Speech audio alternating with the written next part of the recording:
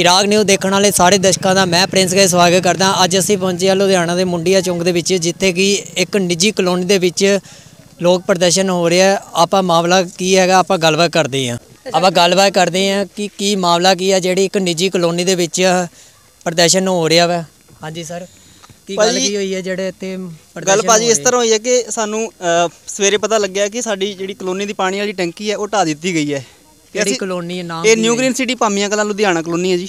ਠੀਕ ਹੈ ਜੀ। ਹਾਂਜੀ। ਤੇ ਇੱਥੇ ਸਾਰੇ ਜਦੋਂ ਸਵੇਰੇ 10 11 ਵਜੇ ਸਾਰੇ ਆਪਣੇ ਕੰਮਾਂ ਕਾਰਾਂ ਤੇ ਚਲੇ ਜਾਂਦੇ ਆ ਕਿਸੇ ਨੂੰ ਕੋਈ ਖਬਰ ਨਹੀਂ ਨਾ ਕਿਸੇ ਨੂੰ ਦੱਸਿਆ ਗਿਆ ਕਿ ਤੁਹਾਡੀ ਪਾਣੀ ਦੀ ਟੈਂਕੀ ਢਾ ਦਿੱਤੀ ਜਾਏਗੀ। ਤੇ ਜਦੋਂ ਥੋੜੀ ਦੇਰ ਬਾਅਦ ਕਿਸੇ ਨੇ ਆਪਣਾ ਜਾਂਦੇ ਦੇਖਿਆ ਤਾਂ ਉਹਨਾਂ ਨੇ ਦੱਸਿਆ ਸਾਰੀ ਕਲੋਨੀ ਵਾਲੇ ਨੂੰ ਤੇ ਸਾਰੇ ਕਲੋਨੀ ਵਾਲੇ ਇਕੱਠੇ ਹੋਏ ਆ। ਜਦ ਤੱਕ ਕਲੋਨੀ ਦੇ ਮਾਲਕ ਕੌਣ ਹੈਗੇ ਆ? ਇਹ ਪ੍ਰਦੀਪ ਕੌਸ਼ਲ ਜੀ। ਕਿੱਥੇ ਰਹਿੰਦੇ ਕਿੱਥੇ ਹੈ ਇਹ ਇਹਨਾਂ ਦੀ ਕਲੋਨੀ ਹੈਗੀ ਜੀ ਇੱਥੇ ਆਪਣਾ ਨਿਊ ਗ੍ਰੀਨ ਸਿਟੀ। ਜੀ। ਇਹ ਰਹਿੰਦੇ ਕਿੱਥੇ ਜੀ? Urban estate. ਜੀ ਰਹਿੰਦੇ ਜੀ।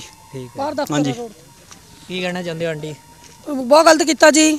ਨਿਊ ਗ੍ਰੀਨ ਸਿਟੀ ਸਾਡੀ ਕਲੋਨੀ ਜਦੋਂ ਅਸੀਂ ਇੱਥੇ ਕੋਠੀਆਂ ਜਾਂ ਪਲਾਟ ਲਿੱਤੇ ਸੀ ਨਾ, ਇਹਨਾਂ ਨੇ ਸਾਨੂੰ ਇਹ ਟੈਂਕੀ ਵੀ ਦਿਖਾਈ ਸੀ ਵੀ ਪਾਣੀ ਸਪਲਾਈ ਆ, ਵਾਟਰ ਸਪਲਾਈ ਤੇ ਗਟਰ ਦੀ ਸਾਰੀ ਸਪਲਾਈ ਦੱਸੀ, ਇੱਥੇ ਕੁਝ ਵੀ ਨਹੀਂ ਹੈਗਾ। ਉਹ ਰਹਿੰਦੀ ਟੈਂਕੀ ਵੀ ਢਾਤੀ ਇਹਨਾਂ ਨੇ। ਇਹਨਾਂ ਦਾ ਮੇਨ ਸੇ ਬਣਦਾ ਕਿ ਇਹ ਪਲਾਟ ਵੇਚਣਾ ਚਾਹੁੰਦੇ ਸੀ, ਬਸ। ਕਿਉਂਕਿ ਜਿਹੜਾ ਟੈਂਕੀ ਦੇ ਅੰਦਰ ਪਹਿਲਾਂ ਰਹਿੰਦਾ ਸੀ ਬੰਦਾ ਉਹਨੂੰ ਕੱਢਤਾ ਬਾਹਰ ਇਹਨਾਂ ਨੇ ਤੇ ਉਹਨੂੰ ਕੱਢ ਕੇ ਤੇ ਉਸ ਤੋਂ ਬਾਅਦ ਟੈਂਕੀ ਢਾ ਕੇ ਤਾਂ ਕਲੋਨੀ ਵੀ ਪਲਾਟ ਵੇਚਣ ਨੂੰ ਫਿਰਦੇ ਨੇ। 2 ਮਹੀਨੇ ਬਾਅਦ 2 ਮਹੀਨੇ ਤੱਕ 2 ਮਹੀਨੇ ਤੋਂ ਹਾਂਜੀ। 2 ਮਹੀਨੇ ਤੱਕ ਪਾਣੀ ਨਹੀਂ ਆਇਆ। ਠੀਕ ਹੈ ਜੀ? ਉਸ ਤੋਂ ਬਾਅਦ ਪਾਰਕ ਵੀ ਜਿਹੜੀ ਅਹ, 400 ਗਜ ਦਾ ਪਾਰਕ ਸੀਗਾ।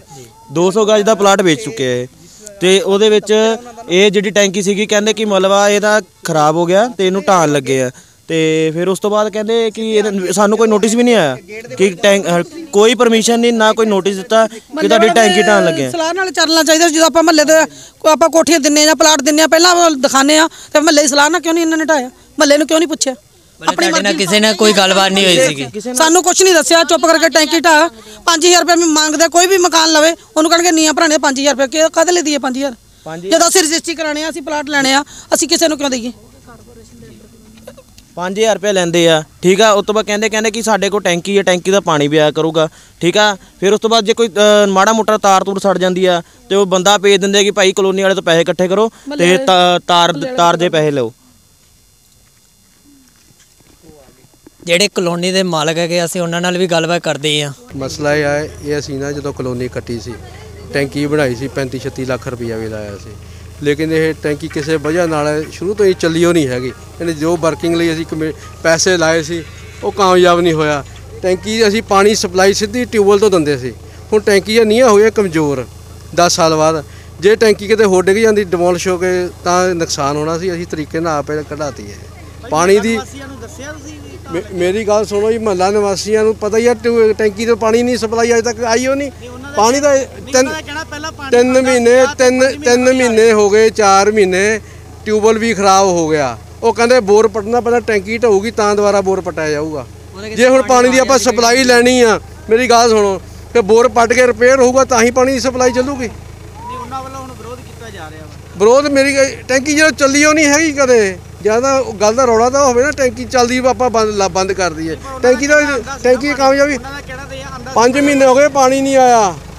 ਠੀਕ ਨਹੀਂ ਗੱਲ ਫੇਰ ਹੁਣ ਸਾਰੇ ਪਾਣੀ ਵਰਤਦੇ ਨੇ ਪੈਸਾ ਦੇ ਕੇ ਕੋਈ ਰਾਜੀ ਨਹੀਂ ਹੈਗਾ। ਜਦ ਆਪਾਂ ਪੈਸੇ ਆਪਾਂ ਕਾਰਪੋਰੇਸ਼ਨ ਨੂੰ ਪੈਸੇ ਦਿੰਦੇ ਆ ਕਿ ਨਹੀਂ ਦਿੰਦੇ? ਪਾਣੀ ਸੀਵਰੇਜ ਦੇ।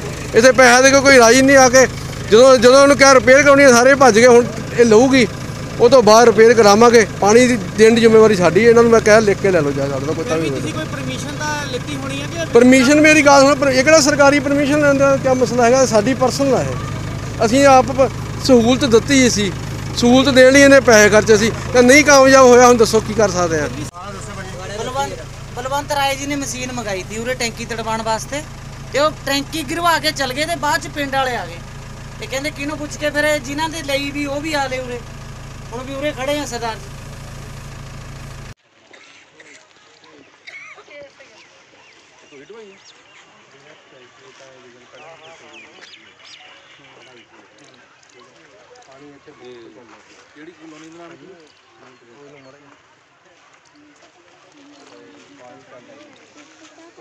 ਸਾਰੀ ਕਮਜ਼ੋਰ ਹੋਈ ਪਈ ਹੈ ਕੰਮ ਤਾਂ ਹੈ ਪਹਿਲਾਂ ਆ ਕੇ ਬੋਰਡ ਦਾ ਟਰੈਕਟਰ ਚੱਲੂ ਪਹਿਲਾਂ ਵੀ ਟਰੈਕਟਰ ਚੱਲਦਾ ਸੀ ਹੁਣ ਵੀ ਟਰੈਕਟਰ ਚੱਲਦਾ ਟੈਂਕੀ ਚੱਲੀ ਨਹੀਂ ਆ